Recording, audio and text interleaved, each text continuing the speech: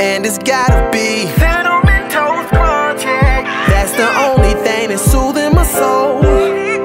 Turn on the TV to Power Rangers. Welcome again, ladies and gentlemen, to yet another episode of Color Commentary, where we give you views from a different side. Today, we're going to be talking about my main man. Mm. Mm. Down, ding, ding, ding, ding, down, brown, ding, ding, ding, ding, ding, brown, ding, ding, ding, ding, ding, ding, ding, wow, wow.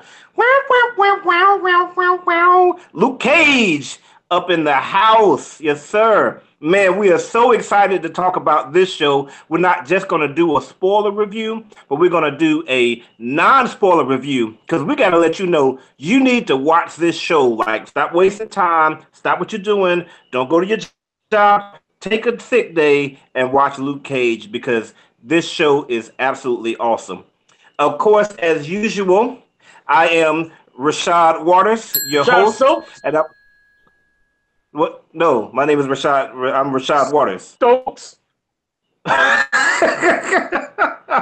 name is Rashad Stokes. and of course, this is color commentary where we're talking about Luke Cage. Let's go ahead and, and bring in our uh, co-host here as we get into season two of Luke Cage. What's happening there, uh, Danny? Go ahead and introduce yourself, sir.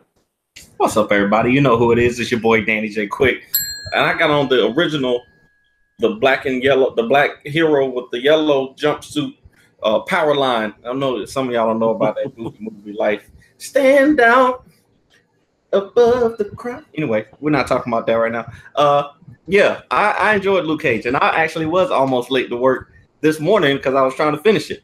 But uh, yeah, I, I man, this film was great. I'm putting it top of my list for um for for Marvel Netflix shows already.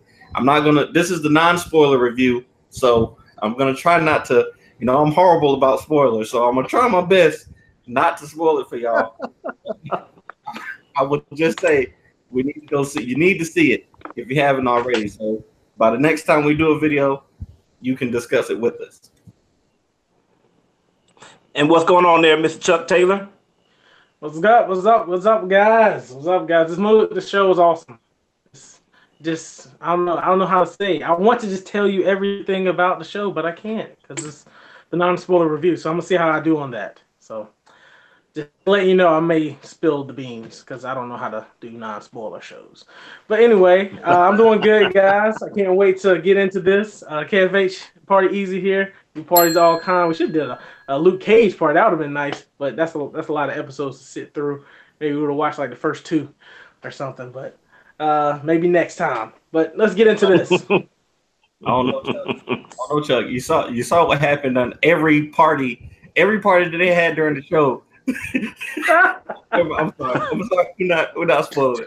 I'm sorry. we will not be Or- having or biting. biting. So Right. let's briefly get into this. So obviously you can't get any, any details, but just like how did this show win, man? Like what did you think about it? man, I say the the characters were so great, man. Really, they could have called this show um, Mariah Stokes and Misty Knight featuring Luke Cage. Like the show had so much, um, so much from the supporting cast. Like the stories were so deep. The villain had, you know, uh, a motivation that you could. I think they learned a lot from Black Panther and from um, what's that other movie with the with the good villain? Uh, Infinity War. No, not not Infinity War. Definitely you, not. You didn't like? Oh wow. See, I know you didn't like. Uh, I'd say uh, they like they learned a lot from Black Panther because they they they gave us a villain that we could say, okay, I understand why he's doing these horrible, horrible things to people. Like Mhm. you actually felt sorry for him, and um, I'm not going to give away, you know, what his motivations were, but the the way that I like that they put they gave us him before they told us his motivations. I'm, I'm trying not to give away anything, but I when I first was watching, I was like, they should have put this episode at the beginning, but um, I I, I kind of like that they gave it that to us further on down in the um in the episode. So even though the show does kind of start slow, we know that Netflix shows do that. they all start slow, every one of them. So give it three episodes and find you a character to hold on to and hope that they survive it. That's all I'm gonna say. They survive it. What about you, uh, Mr. Chuck Taylor? What do you think, man? Oh, how did they win? How didn't they win? Uh, first of all, uh, thumbs up again. The music was awesome all the way throughout the, the you know the whole season. So you're gonna enjoy, know, just listen to all the different types of music and everything. That's that's that's great. Um, they do have. Can I even say this? All right, so the different villains, I guess you could say, are different people in the show. Seeing them, uh, I guess, really give the reasons how they became a villain is big. You know, you know, seeing how the villains are are um, made kind of remain kind of reminds me, you know, it definitely is is is coming from the new age of villains, like with the Killmonger. So you kind of saw what tragic thing happened in Killmonger's life to kind of put him down this path. So you kind of see that, see, being able to see that with a lot of the different villains in the show really help you understand them, you know, more as a character, and you kind of fall like, dang, I, I do feel sorry for them. I do understand them. Well, that's still a little too far. I don't really know how you can Right. continue to. I can't really feel sorry for you after you did that. There are some moments in that's gonna come, you know, that's gonna come in this season that you're gonna be like, whoa, was not expecting that. That was very real and it's really good, but it was very real. So Netflix holds nothing back. I enjoy watching shows on Netflix because they give it to you raw, and that's exactly what they do with Luke Cage. They kind of answer. They go into a lot of different um, social issues, um, a lot of different, you know, politics, uh, how the world is viewed from different um, different people, different races. So you kind of get to see that throughout the show on how they look at things, even dealing like police, how the police in the police department view different situations. So you kind of you get you get a lot of you get a, a lot of things to think about during these these episodes. I after almost every episode, I was like, wow, that's I don't really know what I would do in this situation. That's a tough one. This is a tough situation. Let's see what the next episode is about. So Mhm. I, I feel like you know you'll definitely enjoy it all the way through. Keeps you keeps you on your feet. Mhm. That's about as good as I can do without telling you everything. So go to the next person. man, um, I'm gonna tell you, man.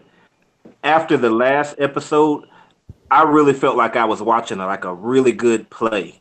You know, one of those plays where like the last thing happens, and then the curtain drops, and then everybody in the audience stands up and gives a stand ovation, and then like each member of the cast comes out, and you're like, yeah, you're like you're cheering for each person because the cast is so awesome, and then the main character comes out. Like that's how I felt watching this movie because there was so many great performances. Like it was amazing.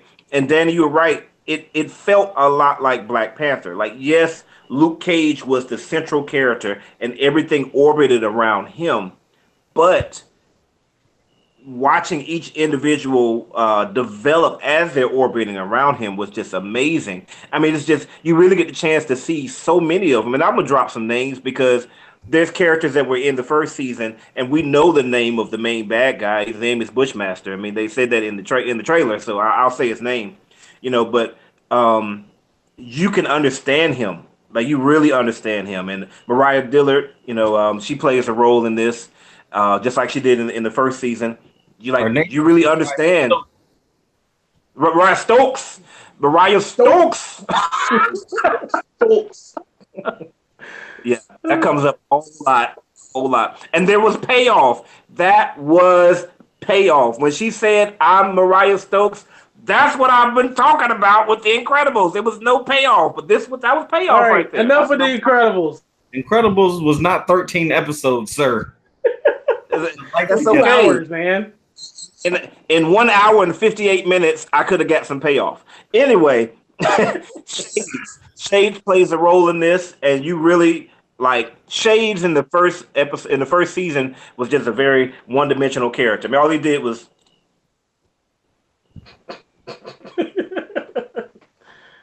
I mean, that's all he did. He just took his sunglasses off and put them back on again, you know. But in this one, it's like, gosh, like his role is you really see, you really understand a lot of things about him, and, and Luke as well. And then, um, obviously, um, Misty plays a role in this as well because everybody sees, you know, from the trailers that she gets her arm and stuff. It's just amazing. Like the the cast is so well it's so it's so balanced and the writing is so good. And let me tell you something, man. Episode 13 is going to blow you away. Like the last four episodes are amazing, but episode 13, you're not going to expect, you're not going to be able to predict it. I promise you. You're going to be like, oh, I see what's happening right there. And then what's going to happen is, oh. oh, no, that doesn't happen. Oh, oh. Okay. Right. Well, at least I don't have to. Oh. I mean, it, this is the first show, real quick. This is the very first uh, superhero show of any kind, other than one episode of Agents of S.H.I.E.L.D., where I couldn't wait until the next season to start. Like, y'all remember the episode of Agents of S.H.I.E.L.D. where, like, Jemma gets sucked into the um into the thing? We are like, what the heck happened to Jemma? You know? But other than that, every time I watch another season of a show, I'm just excited to see the show, but I'm not excited like right after that last season ended. I mean, I want to see more, but I'm not like, oh my god, I got to see the next season. This one, I was like, y'all can't leave me like this, man. Like, what are y'all doing? Like, I need Luke Cage season three in like three months. Y'all need to get that done. I mean, this is a superhero show, but it's really like it's like it's like Power or Empire. Yeah, Power It's Empire. I was about to say that. I was like, it makes you feel like. Power Empire. It's like when you watch those, like the end of the season, it's like, what the heck just happened? Nah, I can't go a whole year without this. What the heck just happened? Or like Game of Thrones. Right. One of them, like those type of shows, like, okay, y'all can't make me wait all year for this. This sucks. so, um, what about what about you, Danny? Uh, uh, is there anything that that where this movie or this show didn't win? Like, how did it feel, if at all? I'm having a hard time finding anything. I will say, I Danny Rand was not great. I mean that Who? Danny Rand, Who? the Immortal Iron Fist, I don't know uh, who that is. the Who? Immortal Iron. The what? He was in this? Yes, You mean you mean in the in the series that came out before? That that series was pretty terrible. On yeah. Defenders. Oh yeah, on Defenders he was bad. no, it Right. In Defenders. Right. Right. the one Hey, it was terrible. was I mean he wasn't as bad I'll say as as in his own show. Um I ah man I can't I don't want to say but um the the character Piranha I, I can't even say I can't say anything without giving it away. I really like I'll say there are characters that I really liked that I wish would have stayed around longer. Um th- there were like three of them, and um, I actually found out that one of the characters um, passed away during the filming of the show. So Right. you know That one, uh, tomato sauce. Yeah, he was. When Yeah. tomato sauce died, that was that one character. Um, I wish he, I wish we would have got to see him in the last couple episodes because that story arc was really a really powerful part of the show. Um, right. so that that you know, you know, but I can't say it without giving the show away. Um, I I um Tilda, I didn't like Tilda Tilda at various parts of the show. Like one episode I would like her, one episode I wouldn't. I wish that they remained consistent with her. But the conversation that her and Mariah Stokes had really hurt my feelings. Um, I was like, I did not know a person could be that mean. Um, Mhm. And it made me physically upset for for a while. Um, but these are, even though there are things that I didn't like about the show, they're good things because they gave me a, an emotional reaction. They made me um, care about the characters. They gave me attachment to them, um, and now I want to see what happens with them in the next season. Like the new characters that they introduced, and even the characters that aren't on the show anymore. You know, um, they just did a great job with them. The one thing that I will say that I did not like was the resolution between Luke and Claire. I'll say I did not like that. I'm not gonna say what it was, but I did not like the resolution between those two. And that's all Oh. because I'm about to give the whole show away. So Let Let's just say it was very similar to what I was talking about in the Jurassic Park episode that we did with the uh, the end of my date.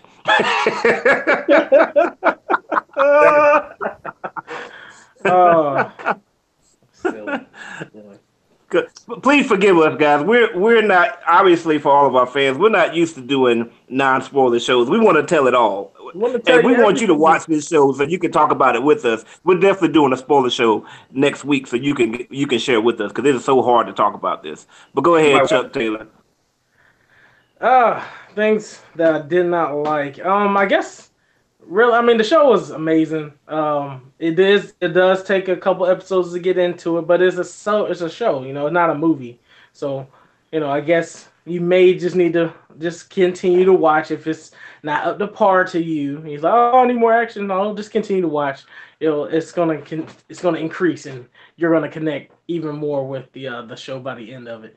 But um, other than that, um, hmm, without telling you of parts of the show, how do I do this? This is hard, harder than you think. I guess um, no, I can't say anything. I'm just have to wait till next show because it's not gonna happen. It's not gonna happen. Just watch it so then we can all talk about it next week, and uh, you know, I can give you all my dislikes and what what what problems I like with with, with which characters show up in this season because we don't Mhm. know. You know, it'd be Right, cool to see right. Iron Fist and some of these other characters. I don't know if they were in there or not. You'll have to watch. Stay tuned. Man, I ain't trying to see no Iron Fist. Boo. Yeah, you, you might be in the show. I didn't even realize that I spoiled that because I thought everybody knew he was in there. Maybe, uh, yeah, my bad. That's my fault. I messed it up. I didn't even realize. I didn't even realize I spoiled it. realize it, realize that you spoiled what? I don't I don't I don't know what you're I don't talking know what about. you're talking about. I I, didn't I I, don't hear know what you're talking about. I spoiled it again. I'm sorry. I'm gonna shut up now. You're a double you're a double Stokes.